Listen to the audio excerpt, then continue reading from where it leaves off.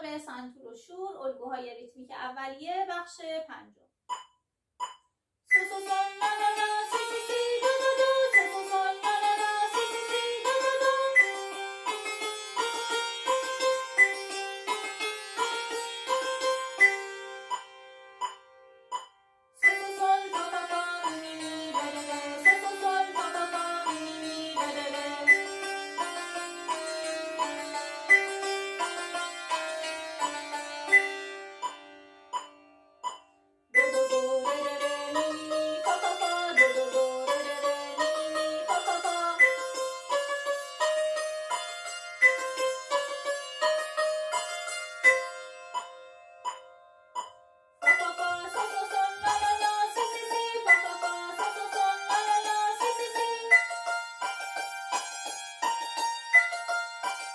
あっ。